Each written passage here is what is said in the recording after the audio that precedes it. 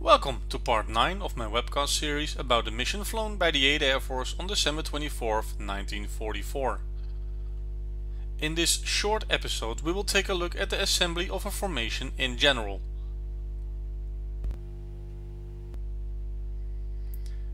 In my opinion, a good start to read about the assembly of the formations is Roger Freeman's The Mighty Eighth War Manual.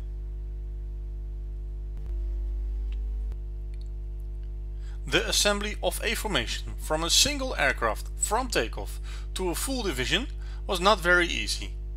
Careful planning was needed. Basically, the order of assembly was First, squadron assembly which was not flown on briefed timings. Second, the group assembly, which also was not flown on brief timings. Both were flown in accordance with standard operation procedures, but the point of assembly and assembly altitude was given in the field order.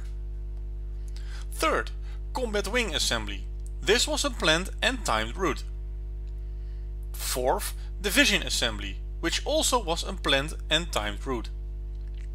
With only combat wing and division timed, it meant the groups had to calculate their takeoff time in order to get sufficient time to assemble and to be able to get in time for the combat wing assembly and division assembly route. For formation assemblies, aircraft used radio beacons as a fixed point to navigate. A bomber could obtain a bearing on the beacon by tuning in on the frequency. At first a agreement was made with the RAF to use British radio beacons and they were called splashers. However, as the 8th Air Force grew in size and the formations became larger, more beacons were needed for formation assemblies. These were low-powered radio beacons with an effective range of around 25 miles and they were called bunchers. Bunchers were located at or very near the 8th Air Force bomber airfields.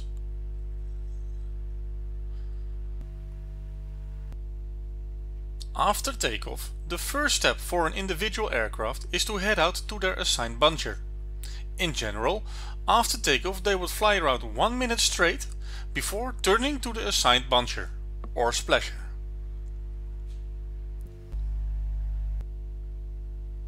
Once the lead aircraft reached their assigned buncher, it would start to fly a circuit in order to let the other aircraft to join the formation. The lead aircraft is using the buncher as a fixed reference point for their circuit. Looking from sideways, the lead aircraft would fly a circuit to and from a brief buncher or splasher beacon or designated area. The lead aircraft will fly at a briefed altitude. The lead aircraft of the high squadron would assemble their formation 500 feet higher and the lead aircraft of the low squadron would assemble their formation 500 feet lower than the lead squadron. Squadron and group formations were assembled at around the same time.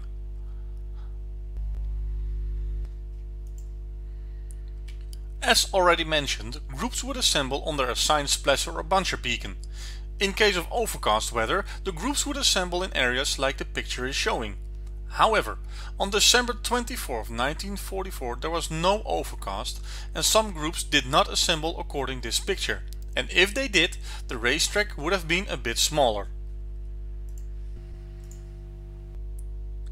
During the squadron and group assembly the lead aircraft will fire flares with their color combination of the day so that other aircraft can form up on the correct formation. 2nd Division also made use of assembly ships who were painted very recognizable. Correct speed is critical information, especially in a turn like during assembly. In a turn, to stay in formation, the low squadron has to slow down as they have a shorter track to fly.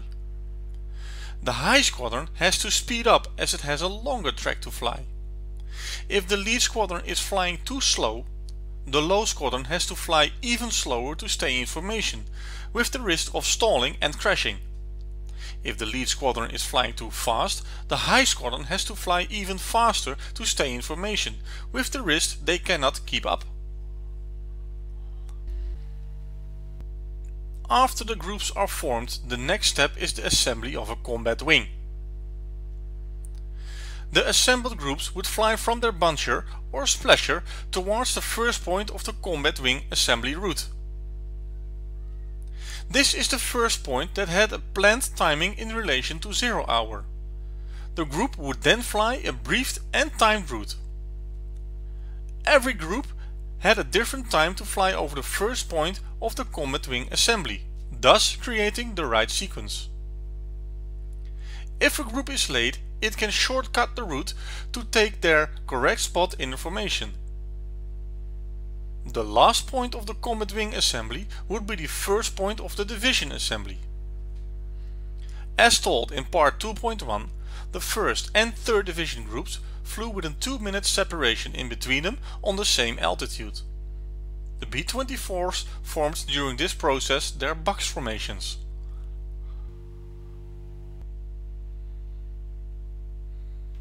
The division assembly was a planned route where combat wings would take their correct position in relation to each other. The division assembly line started where the combat wing assembly route ended for all combat wings. Although the division assembly line looked different for all three divisions, they had one thing in common. At some point the UK coastline was crossed. Either at the beginning or at the end of the division line. If a combat wing was late, it could shortcut the route to get into the correct position.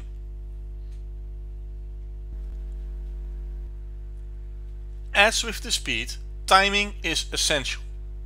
If one group fails to fly the correct speed, route or has the wrong timings, the success of the mission could be in jeopardy. We will find out if such troubles occurred already during the assembly. Therefore, in the next episodes we will take a look at the assemblies of all three forces separately.